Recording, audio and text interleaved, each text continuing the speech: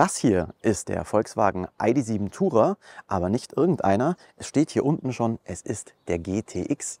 GTX steht bei Volkswagen ID-Modellen für die höchste Power-Ausbaustufe und die darf ich euch heute vorstellen, nämlich den VW ID.7 Tourer GTX. Der hat nicht nur am meisten Power, sondern bietet auch als erstes Modell auf dem Kombi Allradantrieb. Wir werden einen Blick natürlich auf das Fahrzeug werfen, aber vergessen nicht das Wettbewerbsumfeld, denn da gibt es durchaus einen interessanten Wettbewerber. Welcher das ist, das könnt ihr jetzt aktuell schon mal überlegen. Schreibt es mir unten in die Kommentare und dann lasst uns jetzt einen Blick auf den VW ID.7 Tourer als powervolle, als kraftvolle GTX-Version werfen. Viel Spaß!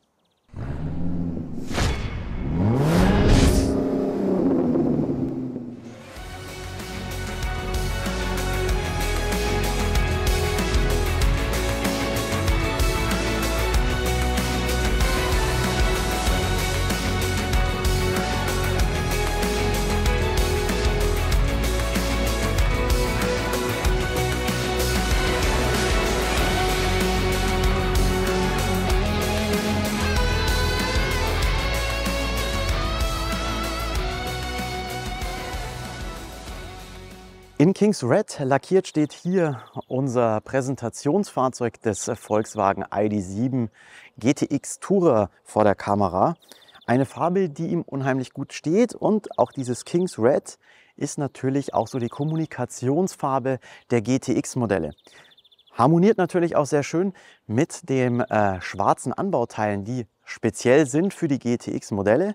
Und da kommen wir auch gleich erst einmal zum Design des ID.7 GTX Tourer.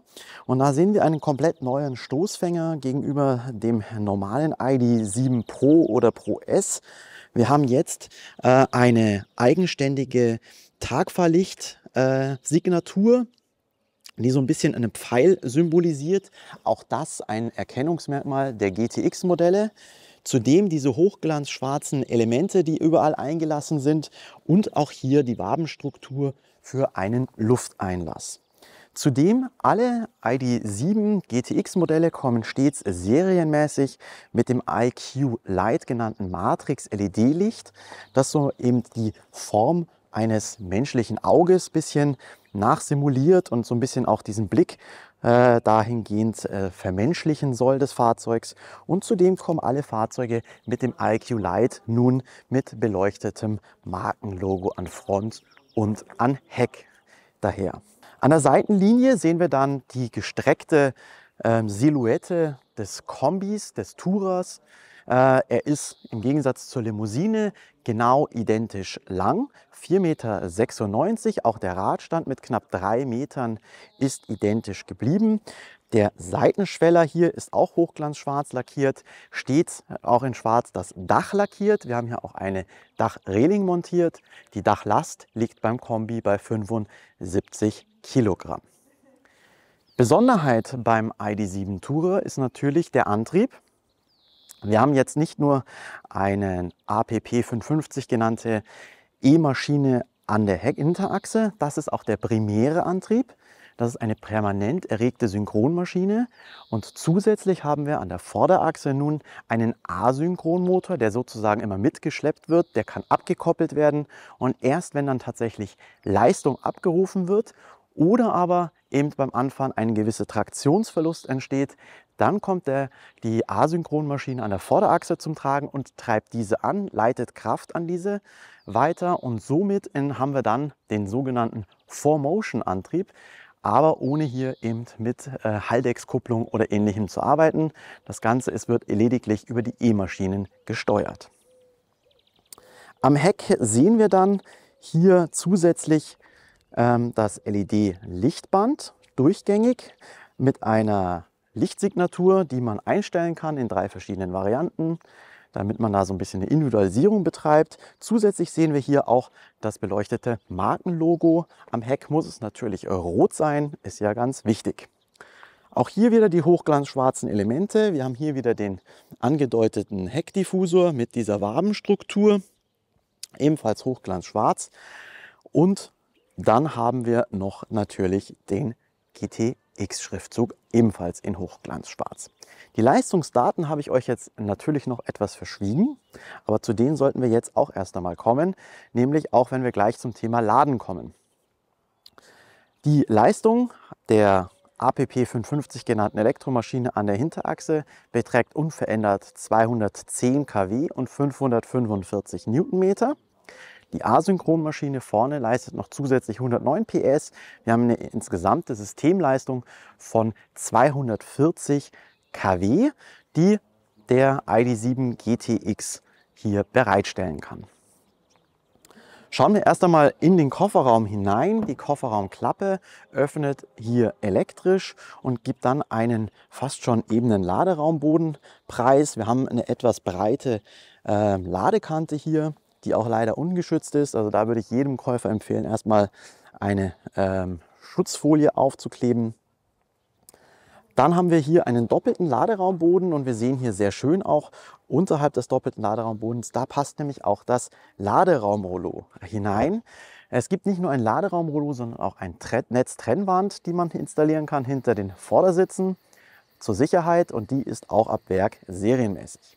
Wenn wir sehen, 545 Liter ist die Packraumkapazität, wenn die Sitze in der Normalstellung untergebracht sind. Die sehen wir links und 609 Liter sind es eben in der sogenannten Cargo-Position. Die sehen wir auf der rechten Seite.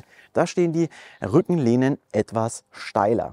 Wenn wir mehr Laderaum benötigen, dann können wir über die federvorgespannten Rücksitzlehnen tatsächlich, die können wir umlegen. Dann gibt es eine maximale Laderaumkapazität von 1714 Liter und eine maximale Laderaumlänge von 1,98 Meter.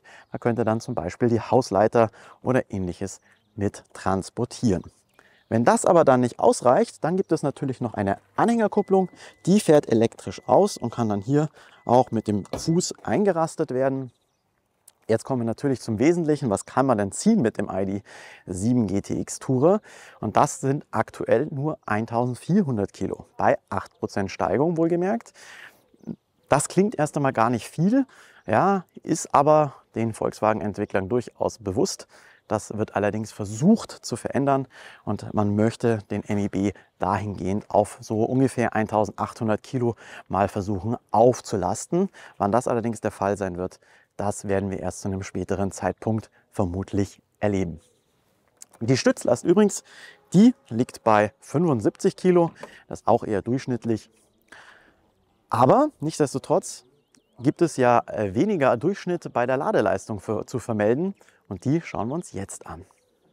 Können die normalen ID7 Modelle mit bis zu 175 kW laden, kann der GTX dank der größeren Batterie, die hier im Fahrzeugboden installiert ist, nämlich stets 86 Kilowattstunden netto nutzbar, jetzt mit maximal 200 kW seinen Akku füllen lassen. Das wird hinten rechts getan mit einer nach oben öffnenden Ladeklappe. 11 kW ist der Standard-Lader AC und DC-Lader sind eben dann, wie gesagt, 200 kW Peakleistung. Aktuell liegen uns die Datenzahlen noch nicht oder die Daten noch nicht vor, wie lang er dann wirklich für 10 auf 30, 80 Prozent benötigt. Aber es sollen deutlich unter 30 Minuten sein. 28 Minuten schafft der ID7 Tourer mit der 77 Kilowattstunden Batterie. Ich vermute mal, dass wir so auch bei 28 bis 25 Minuten am Ende rauskommen werden. Kommen wir aber zu dem anderen Thema. Was ist denn noch so rausgekommen? Und das ist unter anderem auch ein Mitbewerber, der sich da schon abzeichnet, auch wenn man ihn vielleicht bei Volkswagen gar nicht so als Wettbewerber sehen möchte, muss man ihn mittlerweile allerdings als solchen betrachten. Und das ist der BMW i5 Touring eDrive 40. Der hat so ziemlich die identischen Daten zum ID7 GTX Tourer. Schauen wir mal, was hat der BMW denn zu bieten? Er ist 5,6 Meter lang, also 10 cm länger hat einen ähnlichen Radstand, 2,99 Meter, bietet 570 Liter Kofferraumvolumen bis 1700 Liter. Auch hier, ihr erinnert euch, da ist der ID7 Tourer ähnlich aufgestellt. Die Leistung, BMW bietet nur einen Hinterradantrieb mit einer E-Maschine, die leistet 400 Newtonmeter oder 250 kW, also 10 kW mehr als der ID7.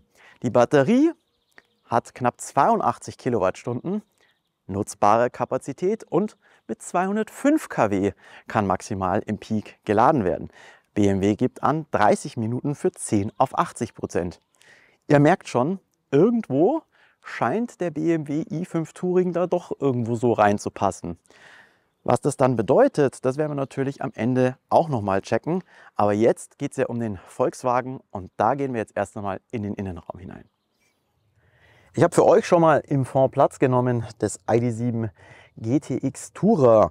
Und äh, was als erstes auffällt, mit meinen 1,78 sitze ich hinter meinem imaginären Ich hervorragend, was die Kniefreiheit alleine schon angeht. Ich kann die Füße wunderbar sogar ein bisschen ausstrecken und unter den Fahrersitz äh, schieben. Das ist dann schon eine sehr, sehr angenehme Sitzposition, die man hier hat.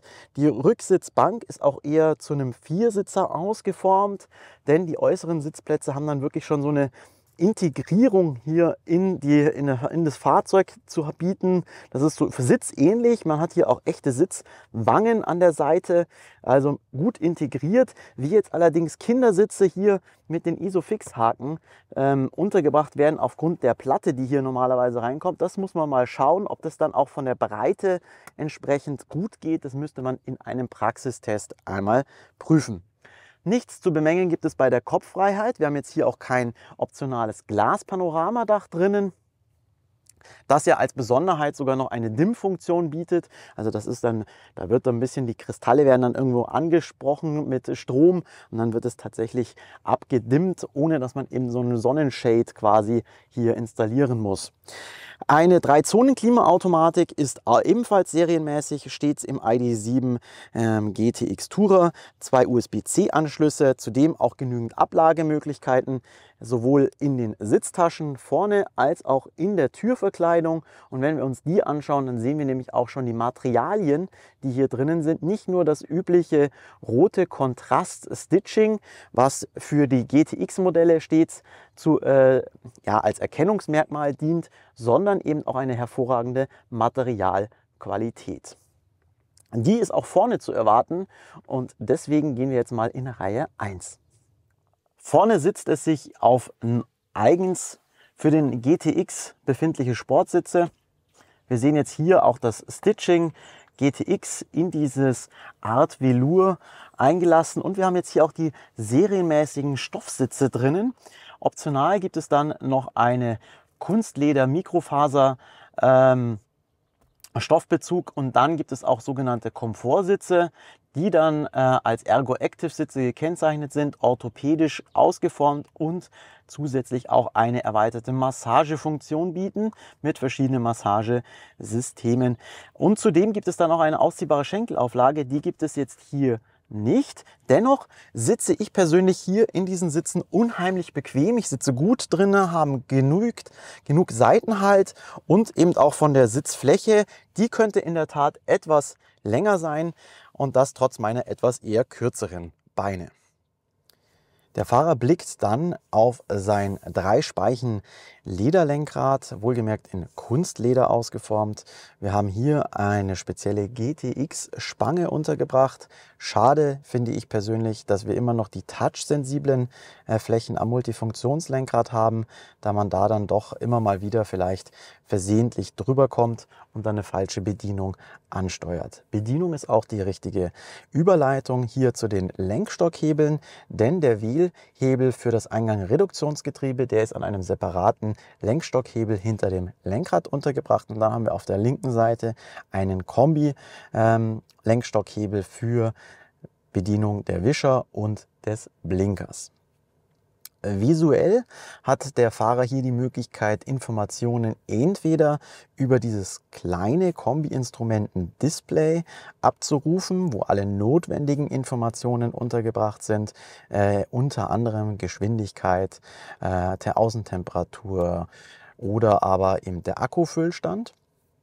Weitere Informationen können dann auch direkt in die Windschutzscheibe hinein projiziert werden mit einem Augmented Reality Display. Das heißt also, es gibt 3D-Elemente, die quasi auf einen zufliegen können und einen so ein bisschen bei der Navigation unterstützen sollen und das Ganze visuell besser darstellen sollen, wo es denn hingeht.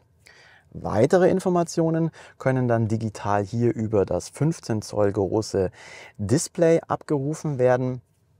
Das hat auch eine neue Bedienstruktur bekommen für Volkswagen. Wir kennen die großen Kacheln hier in der Mitte, die sind individuell anpassbar und auch durch ihre Größe stets sicher während der Fahrt ohne Ablenkung zu bedienen. Zusätzlich gibt es jetzt hier noch Direktwahltasten, die waren früher direkt hier unten untergebracht. Die hat man jetzt auch ins Display integrieren können, aufgrund der Größe natürlich. Wir haben also die Möglichkeit zum Beispiel hier direkt auf Fahrzeuginformationen oder Assistenzsysteme oder eben die Fahrmodi zugreifen zu können. Der Traction Mode übrigens, wenn wir den schon sehen, der ist explizit natürlich nur für die Allradversion, also den GTX erhältlich. Zudem können wir natürlich über die Individualeinstellungen das serienmäßige DCC ähm, einstellen. Bedeutet, wir können hier die Fahrmodi uns so anpassen, die Dämpfer oder ähnliches, wie wir es denn haargenau haben wollen. Das ist angenehm und sorgt halt dann auch dafür, dass hier jeder nochmal so ein bisschen eine gewisse Individualität für sich eben äh, abspeichern kann. Klimainformationen sind hier am unteren Rand untergebracht und eben zusätzlich hier über den Slider, der jetzt endlich beleuchtet ist. Man hat also die Möglichkeit hier die äh, Temperatur entsprechend zu regeln, die Lautstärke des Audiosystems zu regulieren oder das Ganze auszuschalten. Aber man hat auch die Möglichkeit hier Tasten individuell zu belegen, wie wir sehen. Ich kann also hier mir das Fresh Air hinlegen oder das Hands Warm Programm ablegen. Also Direktwahlmöglichkeiten gibt es auch. Die Sitzheizung ist dreistufig einstellbar und optional, wie gesagt, gibt es eine Belüftung der Sitze und eben auch eine erweiterte Massagefunktion. Wenn man dann eben die Ergo Active Sitze ordert, dann ist auch die Möglichkeit gegeben. Und es gibt neu auch eine sogenannte Wellness-App. Wir haben dann auch noch die Möglichkeit, uns hier ein Wellness-Programm aufzurufen. Da ist die Möglichkeit eben, und so sagen die Entwickler, dass man dann eben die Möglichkeit hätte, den Fahrer hier noch so ein bisschen zu unterstützen in seiner Stimmungslage. Das bedeutet also, bin ich noch nicht ganz fresh, dann kann ich mich hier abfreshen lassen oder aber ich kann mich etwas beruhigen lassen, wenn der Tag stressig war oder ich mich gerade über den Vordermann extrem geärgert habe. Und es gibt noch eine sogenannte Power Break von 20 Minuten. Das ist natürlich speziell auf Ladestops ausgerichtet, in der man dann vielleicht eben ein Power Nap an der Ladesäule machen kann.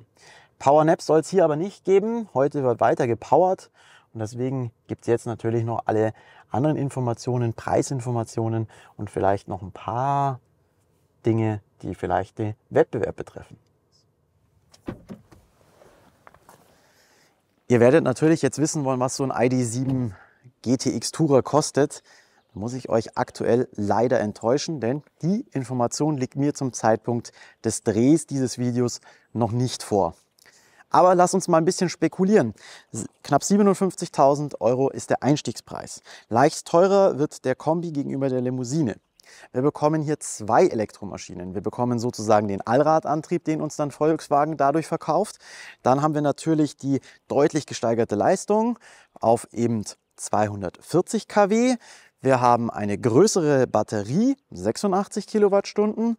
Wir haben bessere Ausstattung, unter anderem schwarze Elemente, Sportsitze äh, und das IQ Light äh, Matrix LED-Licht. Wir haben adaptive Dämpfer verbaut. Also all das möchte man natürlich sich auch bezahlen lassen.